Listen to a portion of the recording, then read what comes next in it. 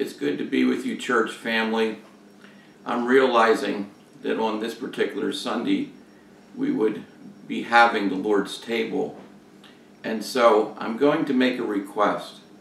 If you'll just pause this video or come back to it, I'd like you to gather for yourself your own bread and your own drink that we might share communion together on this very special occasion.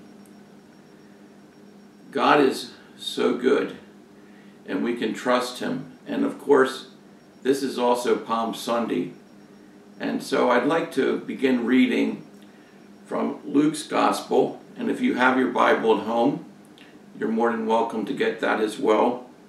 I'm going to read from Luke chapter 19, beginning at verse 28. and after he had said these things, he was going on ahead, going up to Jerusalem.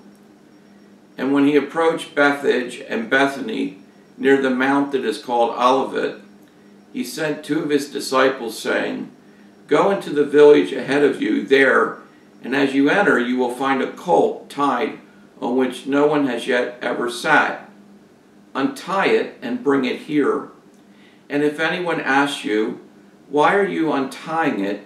you shall say, The Lord has need of it. So those who were sent away found it just as he had told them. And as they were untying the colt, its owners said to them, Why are you untying the colt? And they said, The Lord has need of it. And they brought it to Jesus, and they threw their coats on the colt and put Jesus on it. And as he was going, they were spreading their coats along the road. And as soon as he was approaching near the descent of the Mount of Olives, the whole crowd of the disciples began to shout and to praise joyfully with a loud voice for all the miracles that they had seen. They were shouting, Blessed is the King who comes in the name of the Lord. Peace in the highest, and glory, peace in heaven, and glory in the highest. Some of the Pharisees in the crowd said to him, Teacher, rebuke your disciples.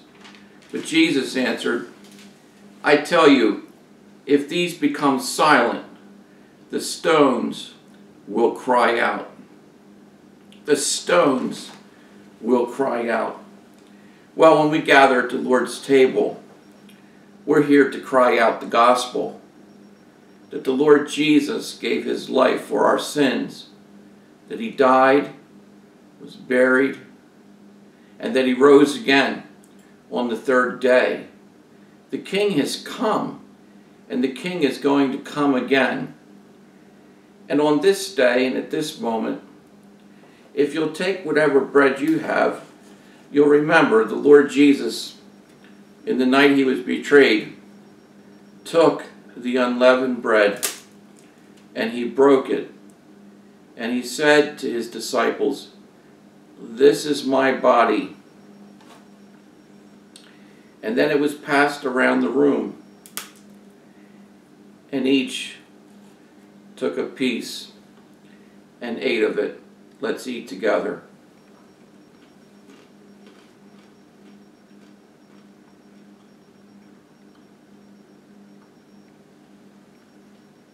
Jesus then took the cup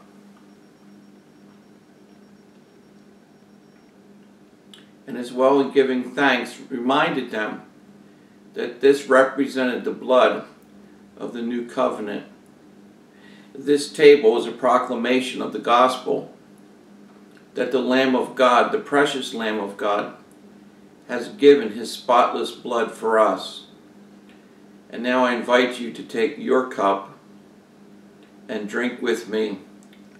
Come quickly, Lord Jesus.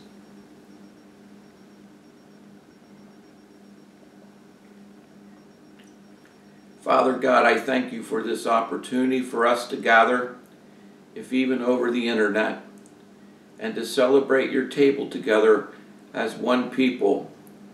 Lord, we look forward to your coming again, for truly you are King of kings and Lord of lords, And I pray these things in Jesus' name. Amen and amen.